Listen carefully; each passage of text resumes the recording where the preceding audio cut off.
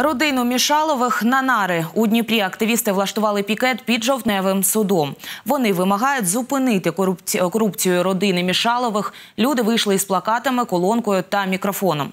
кажуть, аби про проблему дізнавались якомога більше дніпрян. Декілька днів тому активісти пікетували офіс В'ячеслава Мішалова. Такі акції вони влаштовують через розслідування журналістів, у ході якого з'ясувало, що родина Мішалових займається розпилом бюджетних коштів на шкільних котельнях.